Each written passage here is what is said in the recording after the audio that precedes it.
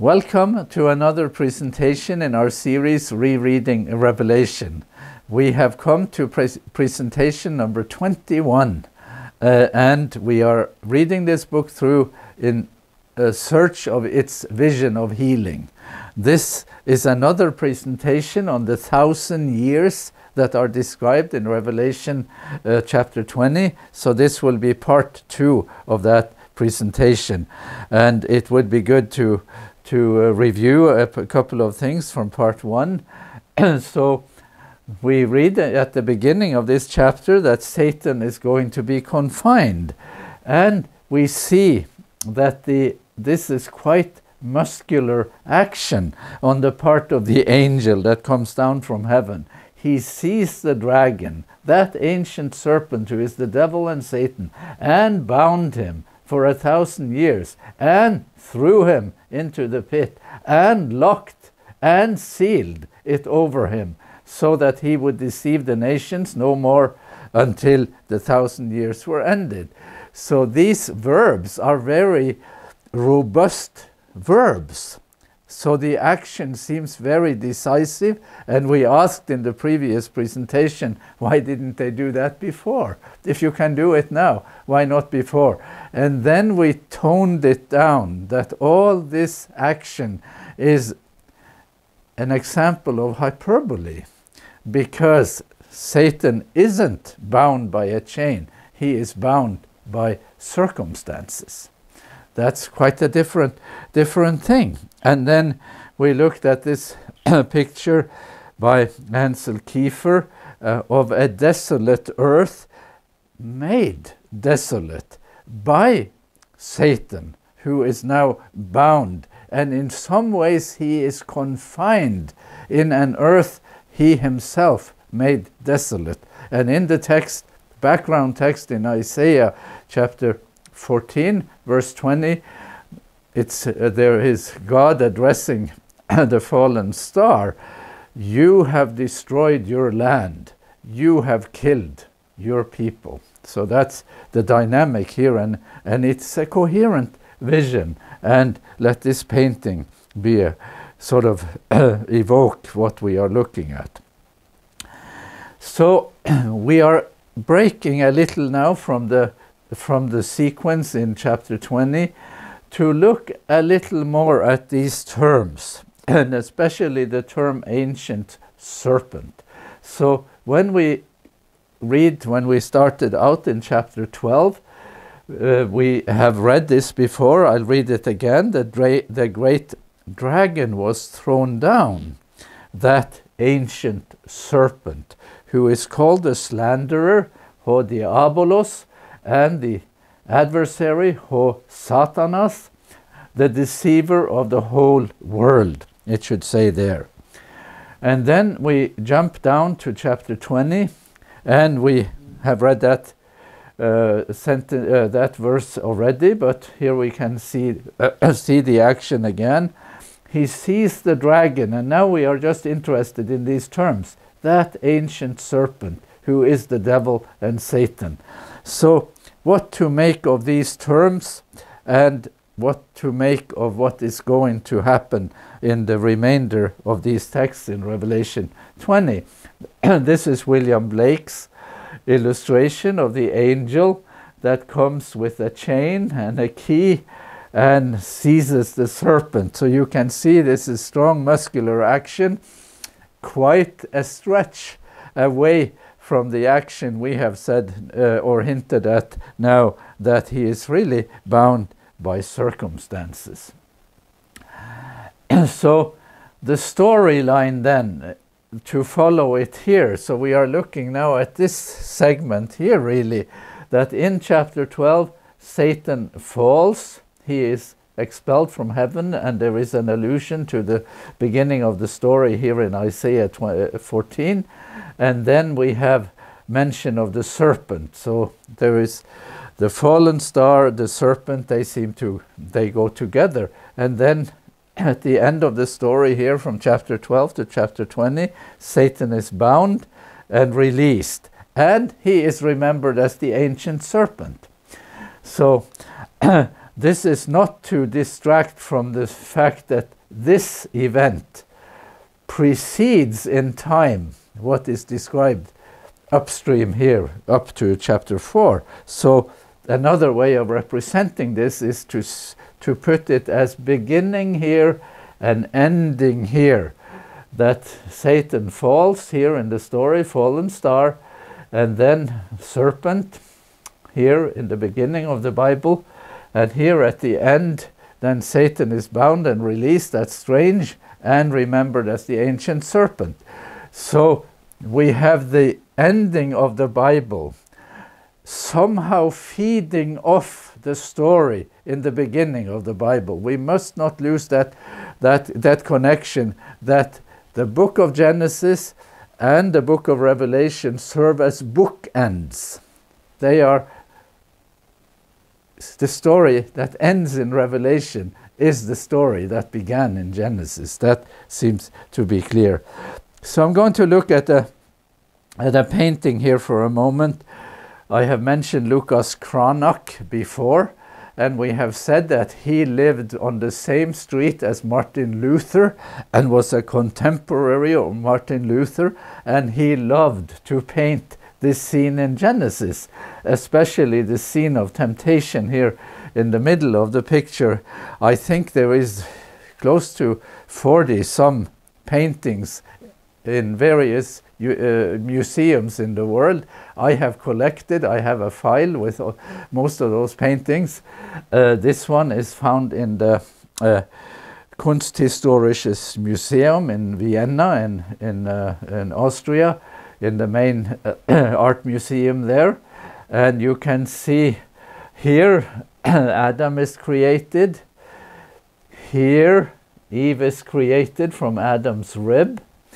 Here we assume that this is God instructing uh, Adam and Eve about the terms of their existence. Here the serpent with a human form, speech uh, uh, talks to them and they eat of the tree. Here they hide from God behind this bush, and here there is expulsion from paradise, and the all seeing eye of God is looking at all of this. But we are going to look at one specific scene, so I will magnify up uh, this detail in the picture and take us to the ancient serpent, that's Revelation's term, and the serpent, that's the term in Genesis. And we read that the serpent was more shrewd than any other wild animal that the Lord God had made. He said to the woman, Did God say, You shall not eat from any tree in the garden? You shall not eat from any tree in the garden? meaning no tree. And then we hear that and we wish to hear it keenly uh, with sensitivity. And then we hear later, we read, then uh, the Lord God said to the woman, What is this that you have done? And she says, The serpent deceived me and I ate. So here is the deception, and here is her saying that I was deceived. And maybe some people or many people tend to think that she's just making up stuff. She's just sort of giving, giving cheap excuses, but that is probably not a good way. She was deceived. So that's, that might just be, be true. It's not the whole story. She maybe she should not have been deceived. That's another matter. And this to sort of make the serpent the human figure, even with somewhat feminine characteristics. That's what Cranach has done in this painting. In other paintings, he has the serpent as just a serpent. So let's do a bit of musing or thinking on this in Genesis, and I will ask three questions.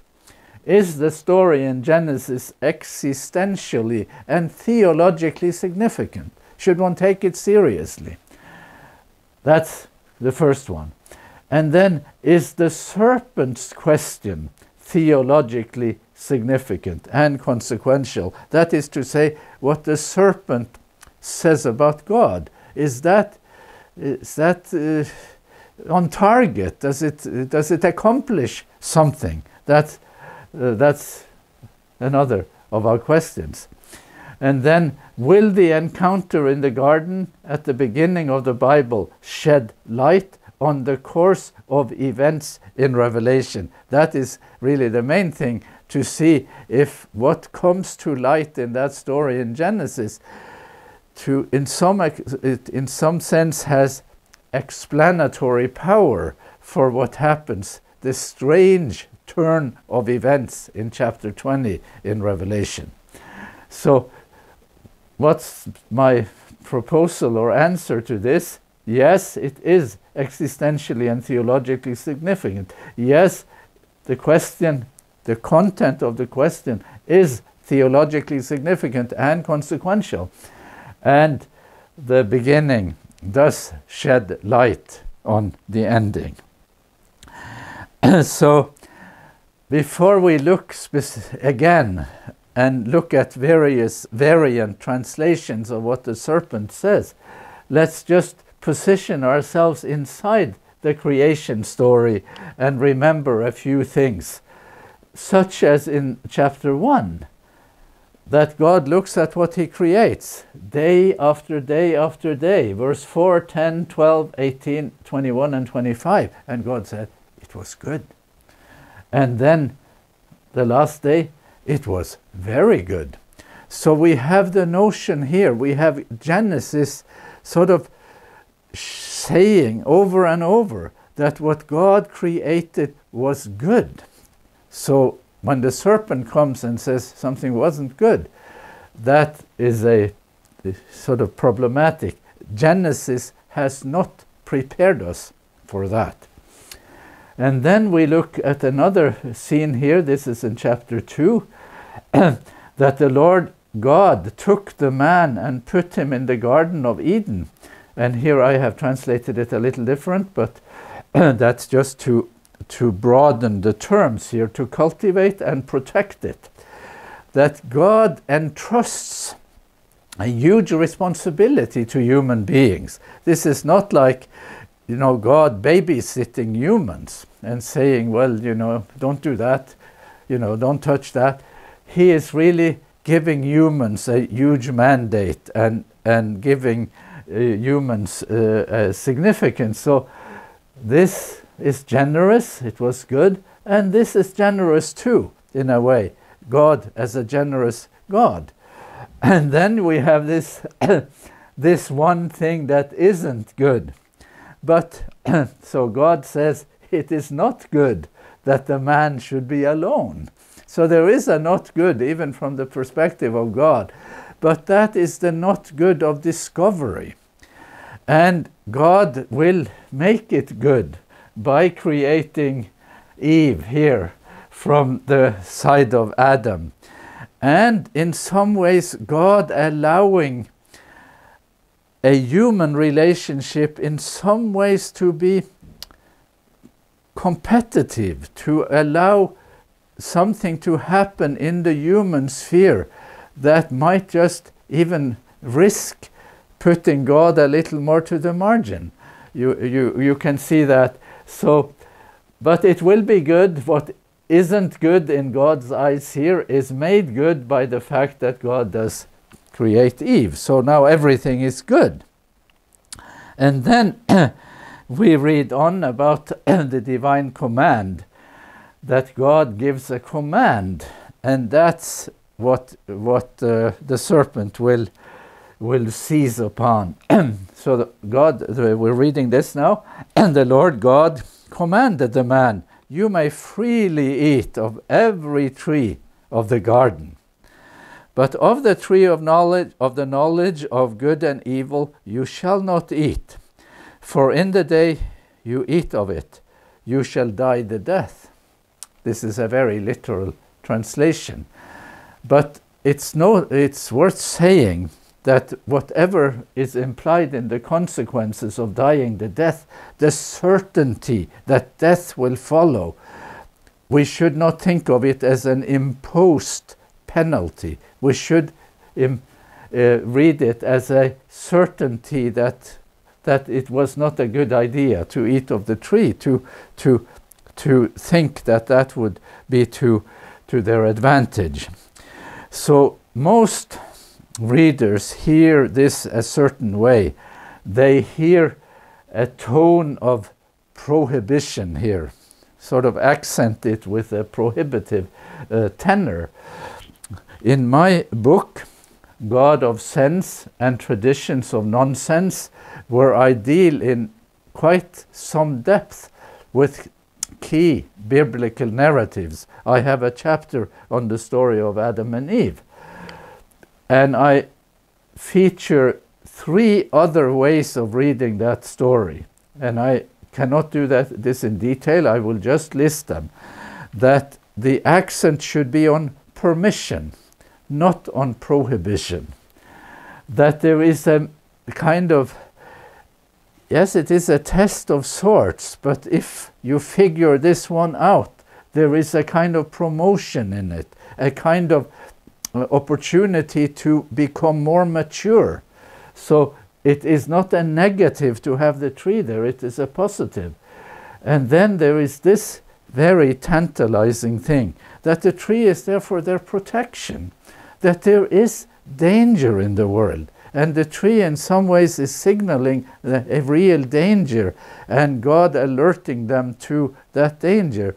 That is assuming that the serpent and the Satan figure precedes these events.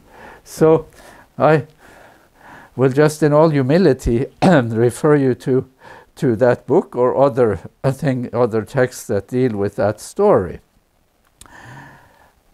The experts have read this because there are uh, uh, nuances in the translation of this text, and these names are some of the biggest and keenest readers of uh, Old Testament texts. And so here is Gunkel, who is saying, somewhat, you know, accenting the unreasonable thing about the command, that the tenor here is, did God really say that that command was unreasonable and thus an unwelcome restriction?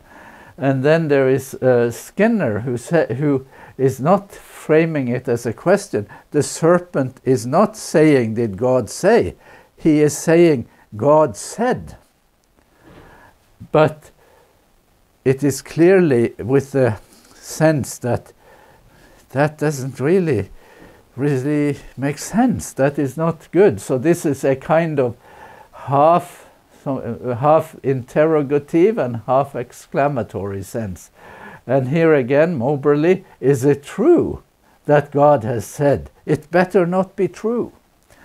Or this one by Robert Alter, who is one of the keen linguists and who have now translated the entire New Old Testament, but all by himself. He's a professor in California at Berkeley, just a, a, wonderful linguist, and his translation of the Old Testament is really, really worth looking at. He, he translated, Though God has said, You shall not eat from any tree in the garden, and then he lets the sentence hang, sort of uh, hang there in the air. So again, God has said it but it was not a good thing that God should say such a thing. and the comments are of these same people, or some of the same people are like this. Very subtly, the serpent does not explicitly invite her to eat. Why don't you eat? He doesn't say that. He understands the art of seduction. He leads her on to sort of make her a shareholder in what he wants her to do. And then this one by uh, Martin Buber, Martin Buber, who is the towering Jewish scholar of the 20th century. The serpent speaks as though it knew very imprecisely what it obviously knows very precisely. The serpent knows the answer to his own question, but he wants to destabilize her. He wants to deconstruct what is in, in her mind. And then this one by Skinner, it is a half interrogative, half reflective exclamation, as if the serpent had brooded long over the paradox and had been driven to an unwelcome conclusion. I've thought very hard about this, that God has actually said such a thing. I don't like to think that way about God, but evidence compels me to think that way. That is the idea here. And two more.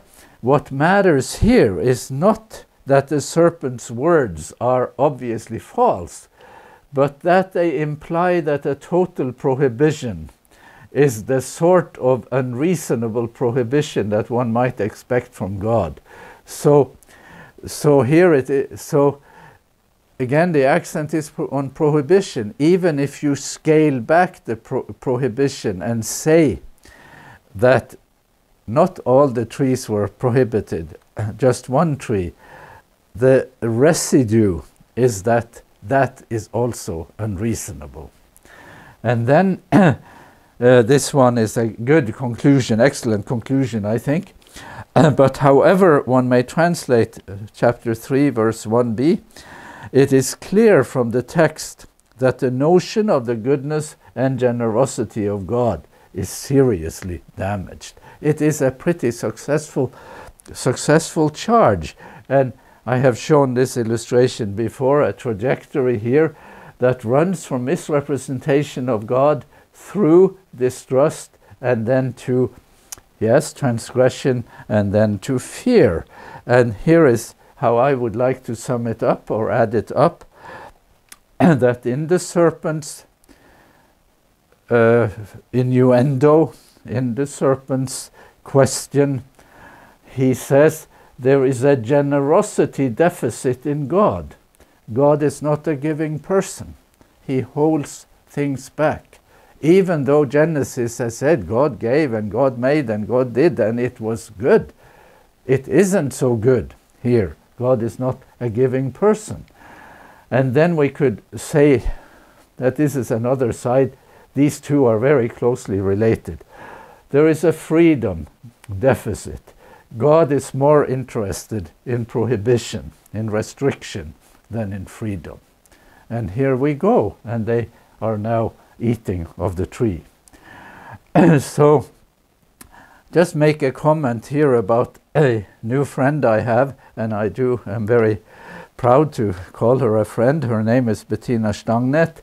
She is a philosopher in Germany. She lives in Hamburg. She has written many books, and she has written a very influential book about Adolf Eichmann, who was one of the great Nazi uh, criminals.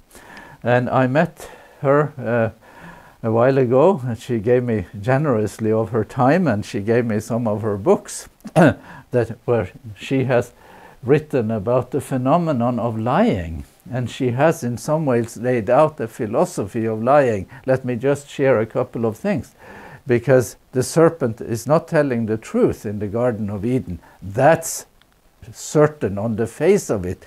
God had said, You may freely eat of all the trees. And the serpent says, Has God said you cannot eat of any tree? so, so that is misquoting God at the very least.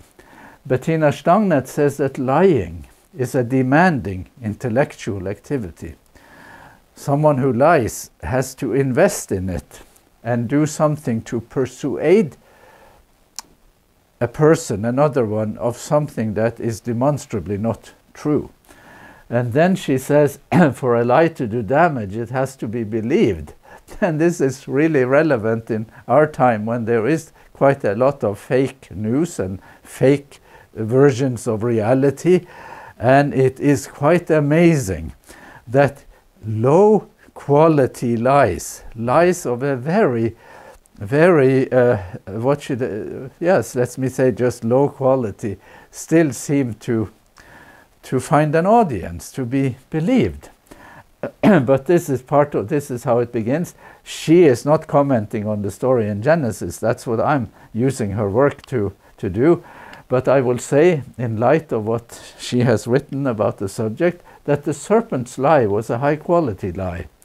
It was not easy to resist it. And it was hard to refute it once it was believed. How do you refute it? How do you sort of restore, uh, restore um, uh, the reputation of the person whose reputation has been destroyed? It was hard to refute, I say. Or what?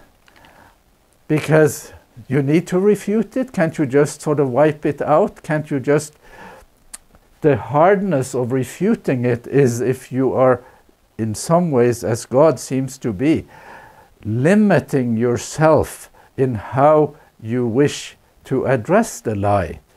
If the means, if the sort of remedial means is just that you need to tell the truth and keep on telling the truth and keep on telling the truth till you have successfully defeated the lie.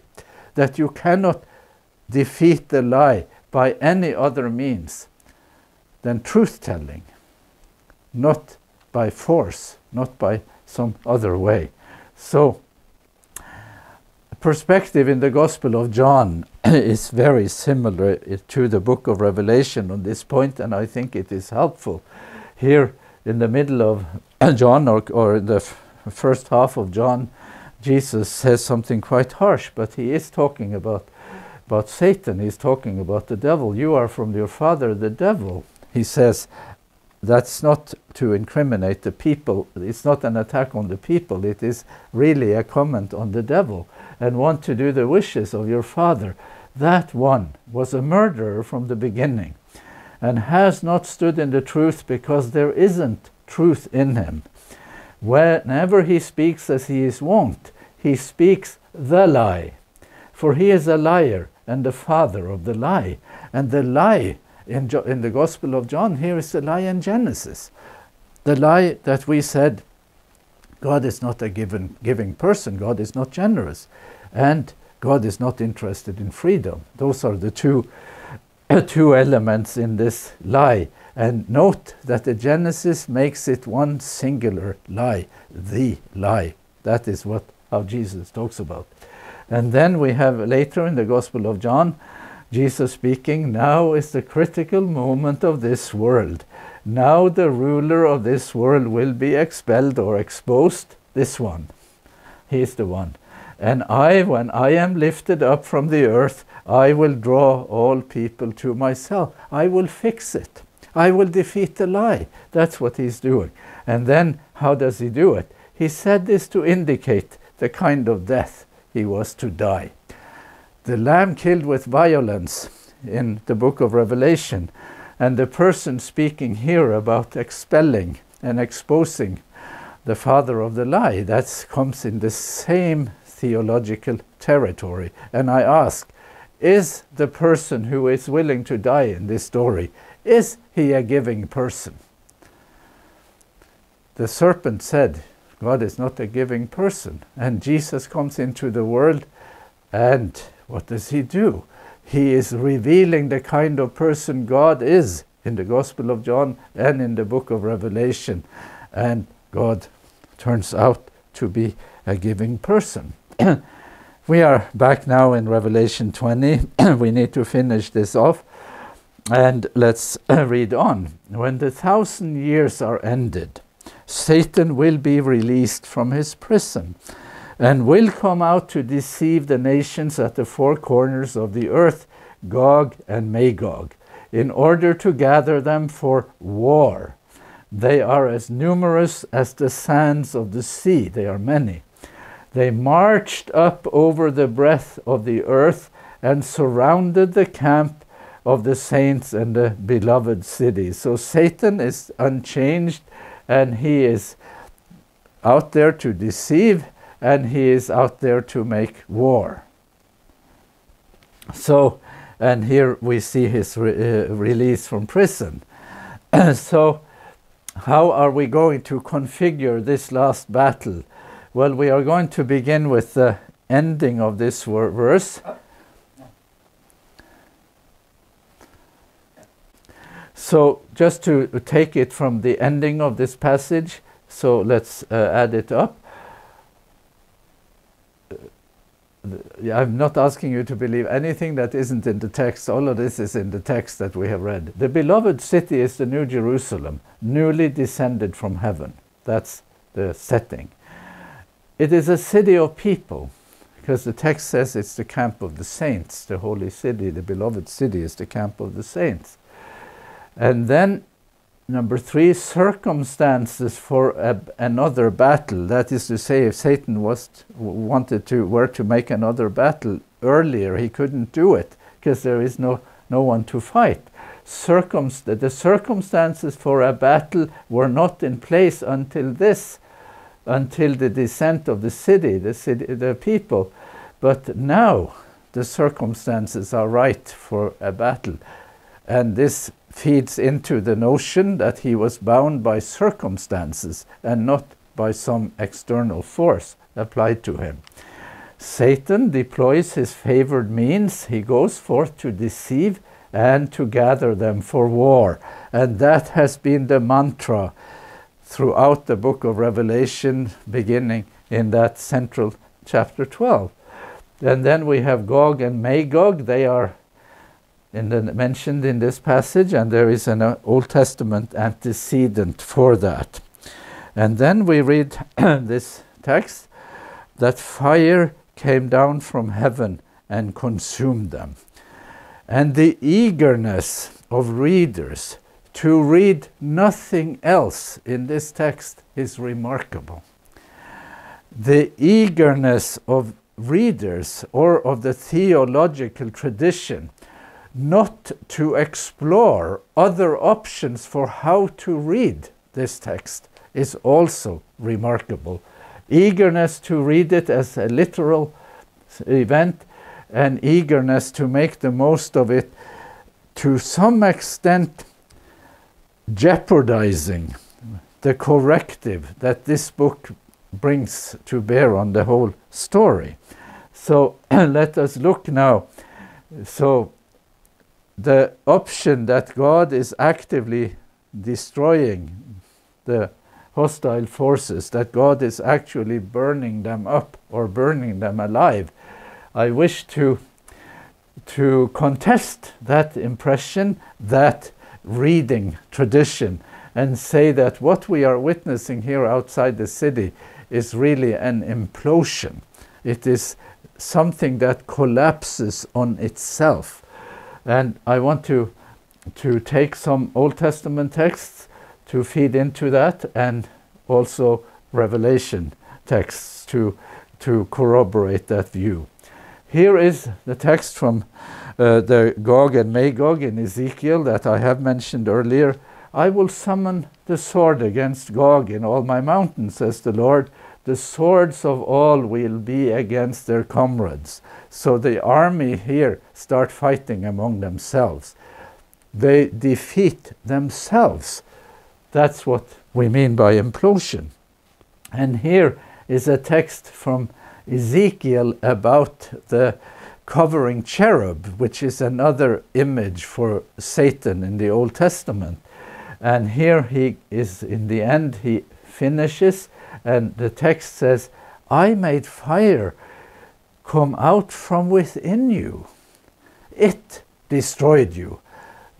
Not destruction from a fire coming from outside, but destroyed from a fire coming from the inside. And Moshe Greenberg, who is one of the keenest readers of Ezekiel in our time, he says, Fire from your midst signifies evil, causing its own destruction.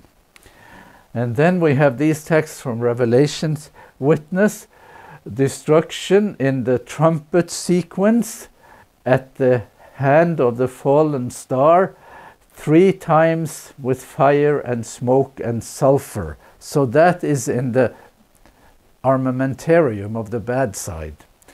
And then we have in Revelation 17 the constellation of evil powers depicted in Revelation 17, how do they uh, come to an end? Destruction by fire from within. They will devour her, her flesh and burn her up with fire. This is not God doing it, it is something that happens inside that constellation.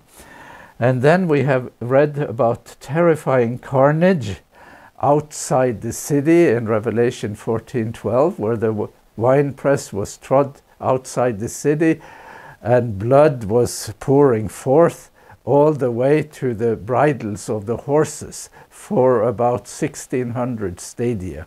These are terrifying scenes of carnage happening in the ranks of the opposing side. And then we see the Lamb and the holy angels as witnesses to this scene and not as perpetrators. So I'd like to to uh, put these two texts next to each other just to to uh, make sure that we are not omitting any resource. Here we saw these very uh, strong verbs seized, bound, through, locked, sealed. The language is very forceful, but the meaning is not so forceful. This is not coercive, the coercive binding of Satan. It is Satan bound by circumstances. But the language is the language of hyperbole, intentional exaggeration. And this is a very good text to take home and to sort of recognize that Revelation is into hyperbole. It exaggerates for a reason. And then we have this text. I have lots of people who are willing to read this text with me as hyperbole and to do the sort of circumstances. But the same people are quite eager to do this, make this text literal. Fire came down from heaven and consumed them. And the devil who had deceived them was thrown into the lake of fire and sulfur, where the beast and the false prophet were, and they were they will be tormented day and night forever and ever. To sort of that's not quite literal. This is quite literal. So let's let's um, uh, feed a couple of more things into it, and then I have a conclusion after this slide. This text we have read before. I have tweaked it out a little now just to to get the full advantage of the self-destruction that first Enoch uh, writes about here. It's similar to the scenes of destruction in Revelation, especially the verse in Revelation 14:20. In those days the father will be beaten together with his sons in one place, and brothers shall fall together with their friends in death until a stream shall flow with their blood. So this is carnage again. For a man shall not be able to withhold his hand from his sons, nor from his sons' sons in order to kill them. So here, in the most intimate of relations, there is now there is now uh, uh, adversarial things going on, and, and yes, there is killing. Nor is it possible for the sinner to withhold his hands from his honored brother. Wow. From dawn to the sun, until the sun sets, they shall slay each other. That's the vision of this final battle in the first Enoch. The horse shall walk through the blood of sinners up to his chest, like in Revelation 14:20, and the chariot shall sink down up to its top. So here is adding it up. Speech and meaning in the book of Revelation. Hyperbole in the binding and release of Satan and many other texts too, but also in the two witnesses in Revelation 11:5, the two witnesses and fire goes out from their mouth and kill all their enemies, but it it's language, it's not what really happens. It's hyperbole. And then there is uh, the option of metaphor, which is not the same as hyperbole. Metaphor is a figure of speech, is not my word, like fire. That's the Old Testament, very strong on that. So you can have fire here in, in uh, also in a sort of hyperbolic sense and also as metaphor. And then you have some background text in Genesis. This is the destruction of Sodom by fire. This is a description of Edom suffering fire or smoke. The smoke ascends forever and ever. And here is Jude in the New Testament writing about the destruction of Sodom uh, as an example of the eternal fire. So you have Im imagery here for destruction, and I have tried to show that this is not destruction caused by God. So I want to, uh, I think this might be my, I might have one more slide, but I want to take you here for a short visit. This is the arrival scene in Auschwitz. It's quite familiar. Many of you have seen it more sort of at right angles. And this is one of my visits here. And here I am looking at one area of Birkenau. Birkenau is a huge, huge area with all these barracks. Uh, and here you see that much of it has collapsed, but you can imagine what it was like. And you see the, the fences and the, and, the, and the barbed wire there.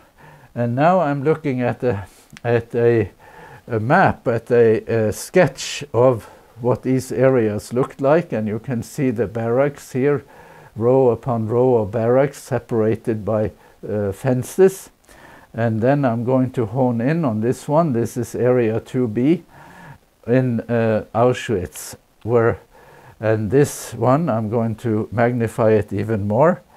And this is 2b this was the family camp. Family camp in Auschwitz where Jews that had been transported from Auschwitz, uh, from uh, Theresienstadt in, in, the Czech Republic, they came and came as families here, and they lived in that camp as families for six months.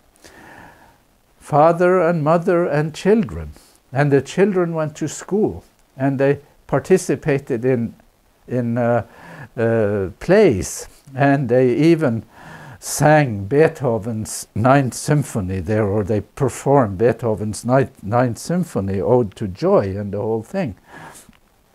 So, one of the people who survived this is the Jewish historian Otto Dov Kulka. And late in life, he wrote a book that I think is one of the most remarkable books written on the subject. So, I'm reading from his book, Landscapes of the Metropolis of Death, written late in his life. He says that we were there and we were performing plays. Our group presented Heavenly Auschwitz, Earthly Auschwitz. That was the title of their performance. As newcomers in heaven, of all places, we discovered to our astonishment that in the world on high there were selections and there were crematoria.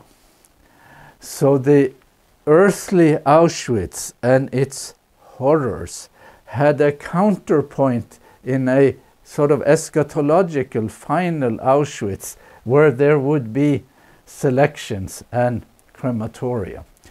I say in my book, God of Sense and Traditions of Nonsense, that the, uh, these notions of hell and God burning people alive, that notion is not viable anymore in just downstream from Auschwitz. But the book of Revelation has been the book that has in some ways nourished that kind of theology and made a sort of heavenly Auschwitz a tenet of Christian belief. I have as strongly as I can in this series try to counter that narrative because there is no way you can make this book a vision of healing if the notion of heavenly Auschwitz persists. That is not doable. So here is how I did this in my dissertation, and this is my final slide. And I thank you for hanging in there with me on this very demanding but also very important topic. When I came to St. Andrews and wrote my dissertation, the title of my dissertation was Saving God's Reputation, looking at how Christ uh, and the faithfulness of Christ is the key to understanding God's ways in this world. And I came to this point what is the logic when Satan is released? And connecting then that to the story in Genesis. So let me read it. When the voice of the ancient serpent is heard in Genesis, it charges the divine government with a generosity deficit and a freedom deficit. The generosity deficit has been taken care of by God revealed in Christ, giving his life as a generous person, a self giving person. So that one has been taken care of.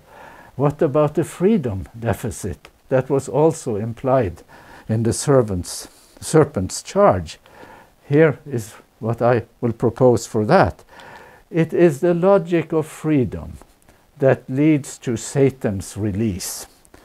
He must be released because he has to work things out in the context of freedom. It is the logic of freedom that leads to Satan's release, and it is within the logic of freedom precisely the value said to be lacking in God that Satan proceeds to work his own undoing. So that is a demanding sentence, but there is nothing arbitrary about this, and freedom is the logic that that takes this to the end. God destroys nothing. It is destroyed inside that logic of freedom that the serpent took the lead in denying. From here on, we will be looking at six visions of healing to cap our series. That will be next time.